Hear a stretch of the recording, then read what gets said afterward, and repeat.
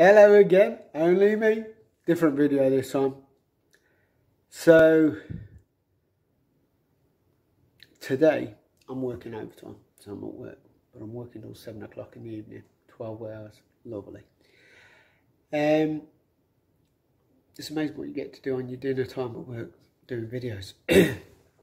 the beautiful wife has told me that she has invited our little niece over because um, she's in our bubble.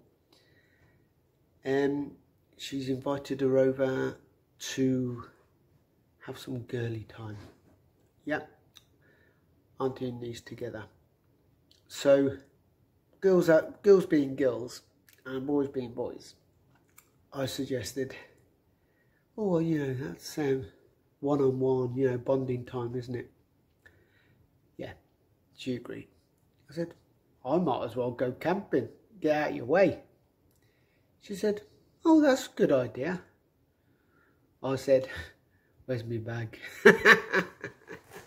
so, today, I'm finishing work. It will be dark when I finish work. Damn. What am I going to do? All oh, right, okay. I'm going to go stealth camping. I'm set for stealth camping. I've grabbed my go bag, chucked in the back of the car, come to work, and uh, whatever's in my bag is in my bag. So I know I haven't got my bivy bag in there, but I do have my hammock set up in there. So I'm going to have to find a wood.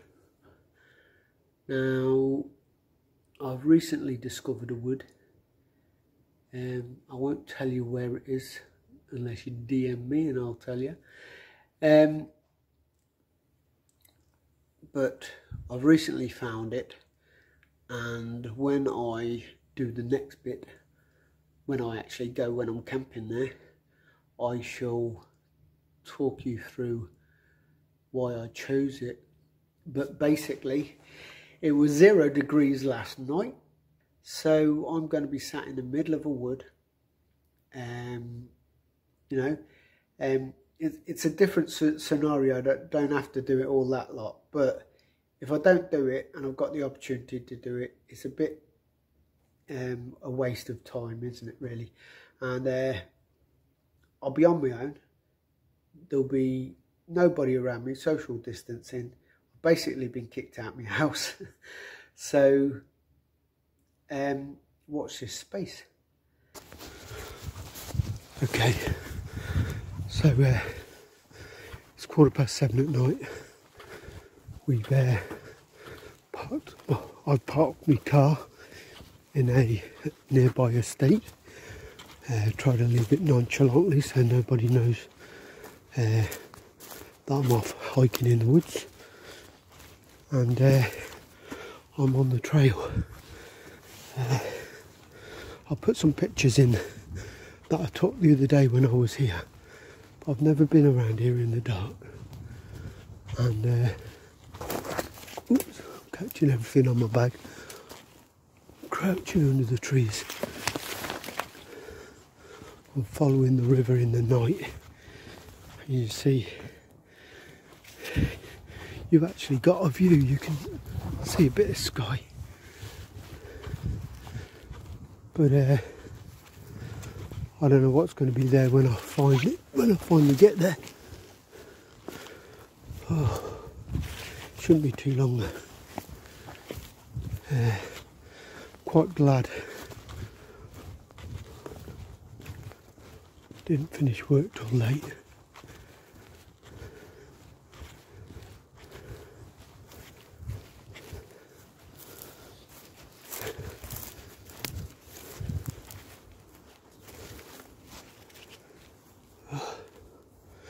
bit scary.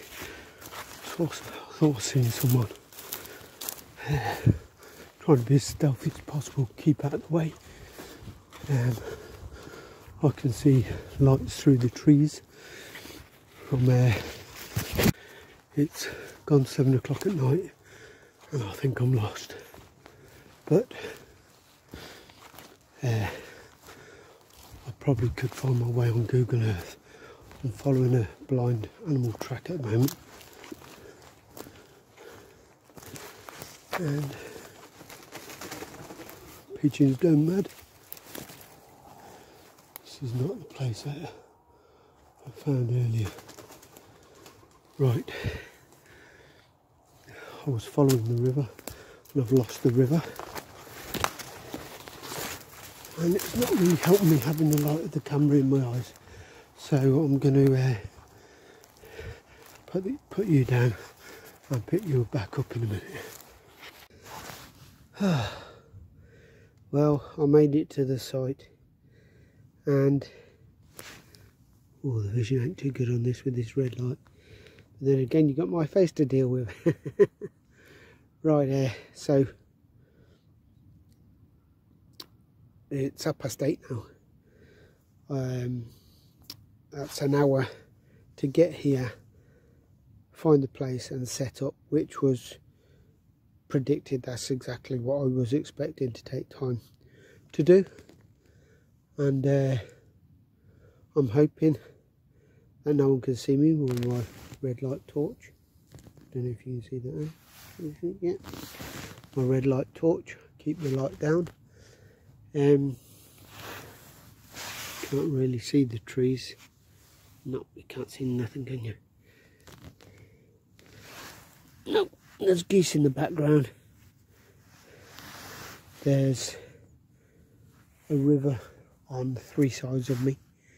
And there's a water filtration plant on the escape route. Light's gone down. Um, obviously I'll be able to show you it better in the morning. Let's see if I can show you this. I've set up my fire for the night. Got a stack there and a thicker wood stack. So it's not too bad. All prepped for the fire. All prepped for the bed. And there are um, on the other side of the river on that, oh, I can't point to you that, but basically behind you there's student facilities now the reason I don't mind them being that far away they're about 150 200 yards away maybe a bit more but uh, students are usually boisterous and messing about and they don't give a shit what's going over in some nature reserve or dilapidated woodland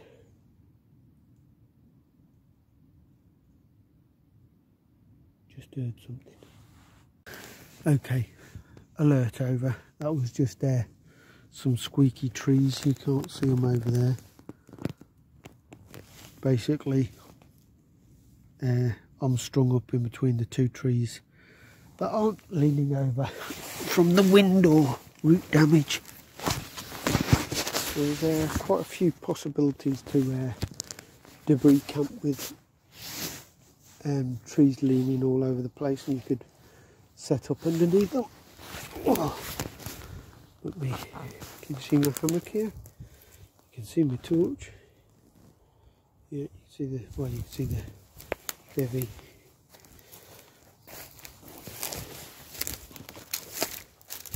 I've got my bag hanging up there. I'm going to put my uh, waterproof on that just in case. And I've got my hammock all set up under there. A couple of sandwiches for tonight because I just couldn't be bothered to uh, load up with cooking kit. And I've got some breakfast in the morning as well. So, what's the wood like? Very peaceful. Very, very peaceful. And uh, just trying to see how much light reflective light. There's a tree there. Yeah, just trying to see how much reflective light, if anyone can see me. Light shining off my face. Hopefully not. But um, I'll wait for, oh I know what's, it's stage two time. Stage one was set up. And stage two is down here. got my little seating mat and I've got my once you're settled you've got a stage two. Oh, nice Strongbow.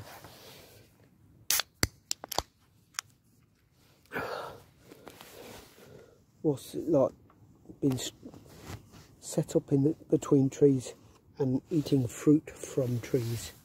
Or eating fruit, drinking fruit.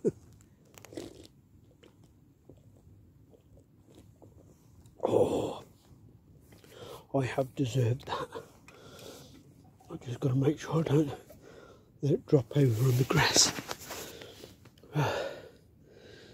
Well, I'll wait for a bit and light the fire, maybe drink this drink before I light it. And then maybe get back to you. See you soon. Well, surely is the life. Chilling out. Lying in the middle of the woods. oh. So we're back half past nine at night. Just got the fire going. Um, nice and cosy. Got a little mat to lie on next to the fire. Lovely, uh, looks like a full moon. But there's a lot of mist out there. Well, a lot of cloud. It's deadly quiet down here. Thank God for the cloud, it means uh, shouldn't be zero degrees like it was last night relatively warm by the fire anyway um, right in the middle of a 500 yard long or wide um, wood near Coventry just uh, I think that's a completed stage three isn't it?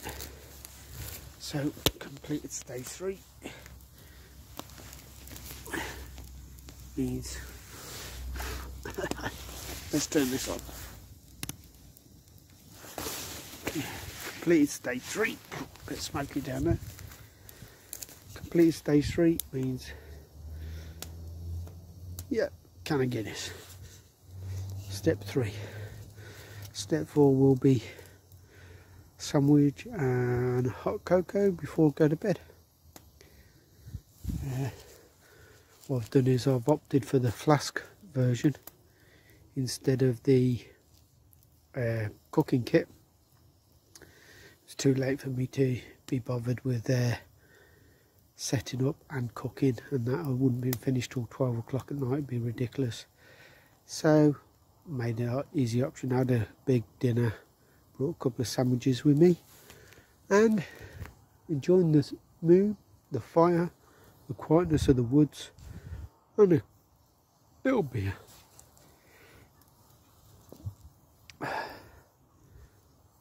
Happy camping guys. I'll show you the kit in the morning because uh, it was dark when I was coming as I said before. Got no chance of showing you it. Um, it's this sort of camp at night, wild camping that gives you that adrenaline rush. Is there somebody watching? Is there somebody going to come and disturb you? Let's hope where I am, nobody will. Night night.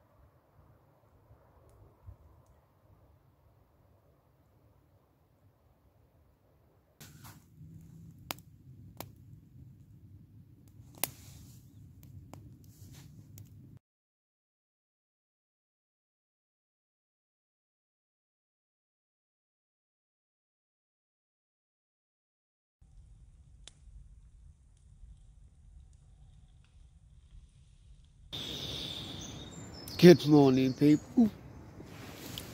Oh. It's been a lovely, peaceful, warm night. Uh, only thing, quite a lot of wind, well, since I went to bed really, but uh, you can hear the branches knocking together occasionally. Um, what's that? That's my hand. yeah, um, could hear the branches knocking together, getting woken up now by the uh, geese. It's uh, gone 8 o'clock. Quite like the sound of the wind in the trees. Um, don't want to get up. but I suppose I'll have to get my kit together. Oh, start the fire, cook my breakfast,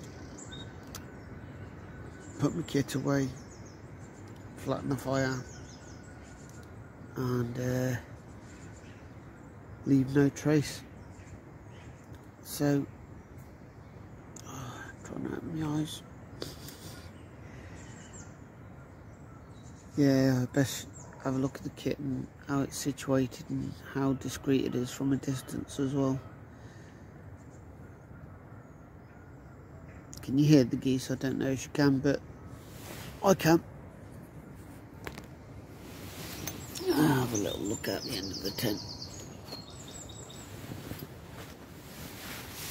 There's my little fire over there. Oh. So, stay tuned. Oh, this is very interesting, peeps. All through this wood, you can see lots of greenery around here. I don't know 100%, but from growing sunflowers last year, they look like little sunflowers. And uh, there's millions of them around here. Everywhere you look, it's all covered in these plants.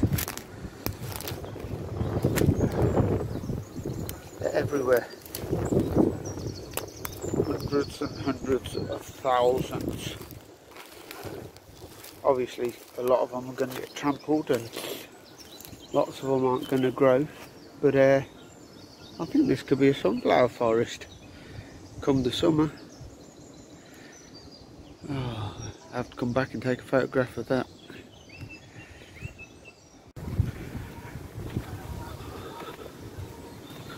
Just coming into the campsite and uh, seeing what we can see. Only walked 100 yards or so away. But uh, my camp is pretty close.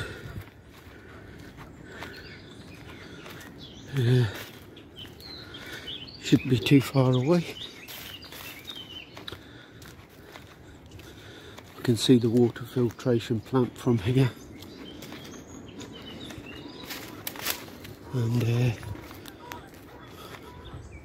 yeah, there's my camp over there.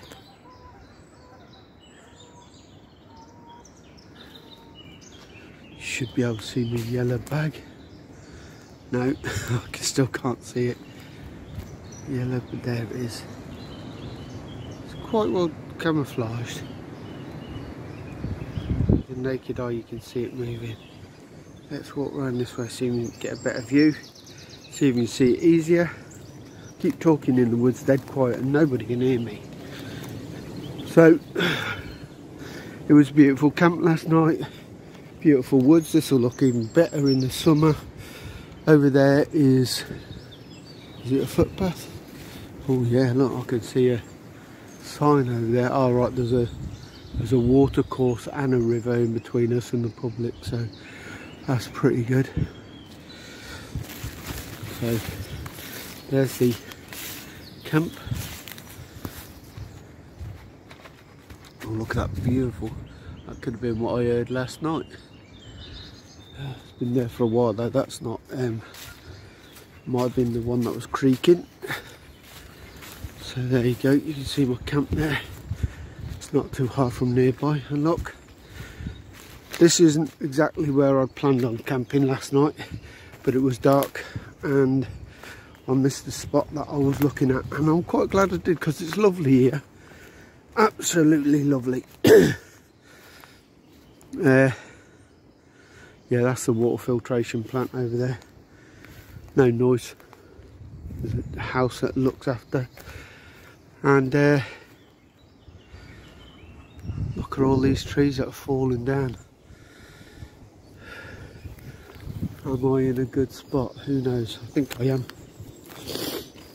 Right, so now I'll get my fire going, get me breakfast done and get out of here. So it's a simple A-frame, a DD 3.5 by 3.5 tarp, two trees roughly three and a half metres apart, a little bit more.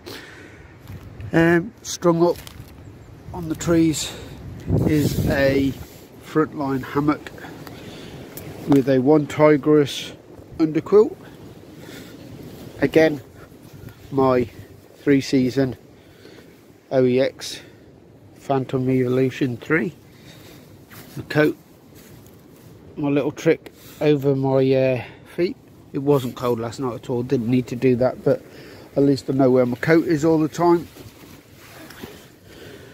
And you don't get much more basic than an A-framed tarp.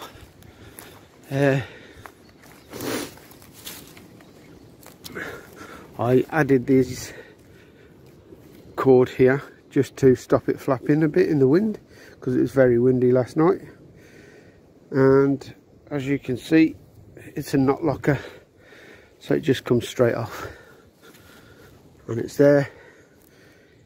It's a knot locker. Oops. So it just comes straight off one-handed.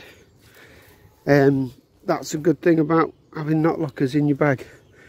Quick and easy do it in the cold with minimal air movement movement agility you know if your fingers are stiff from the there you go DD hammocks MC that's their um, DD's own camouflage pattern.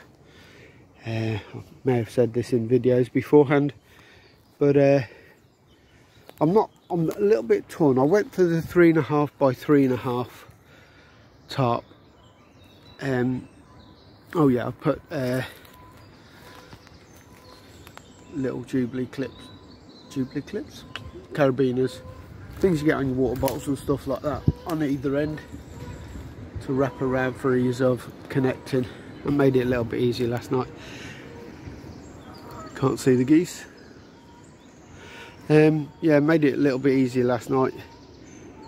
And uh, yeah what I was saying is I'm a little bit torn between the three and a half by the three meter tarp because I used to like having a diamond shaped tarp and basically in between these trees you're uh, perfectly set up for a diamond tarp because that's only three and a half meters long. But for a three meter tarp that is. Um, but when you do this tarp on um, a diamond shape then you have to add more tree huggers for your hammock because it's the trees are obviously so much further apart. Um, so I do carry a strap just in case um, I have to, an extra strap just in case I have to stretch it. But uh, yes, that was very warm last night. It, I'm, not wearing my coat at the moment, obviously. And um, it's probably about seven or eight degrees at the moment. It's lovely, it's fine. A bit windy, but in the trees you're sheltered. And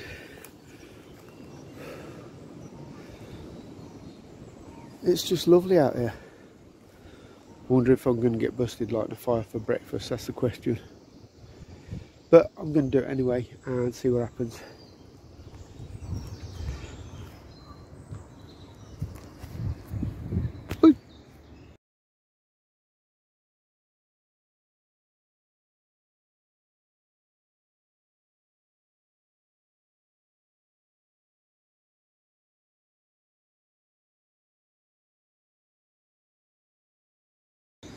Well, I'm all packed up now.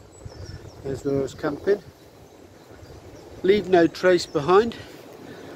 Come back another day, nobody knows you've been or gone. So, now it's daylight and it's peace and calm. The wind is still blowing the trees. Let me see if you can see those trees waggling like that. Yeah, they're giving it a bit of a rock. Uh, this is something to take into account next time I come down this way. If you can see above me,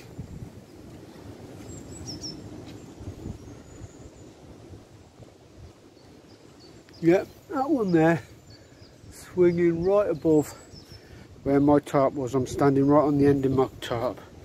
That could have landed on my legs. To and froing. Definitely, definitely we don't make a widowmaker. See if I can see it from this angle. It's hard to see with the reflections. It's up there waggling somewhere. I can't, don't know if I can see it. But yeah, that was what I could hear knocking against the branches last night and uh, now I look at it I'm glad I didn't know what it was because I'd have been uh, tempted to up sticks and move away.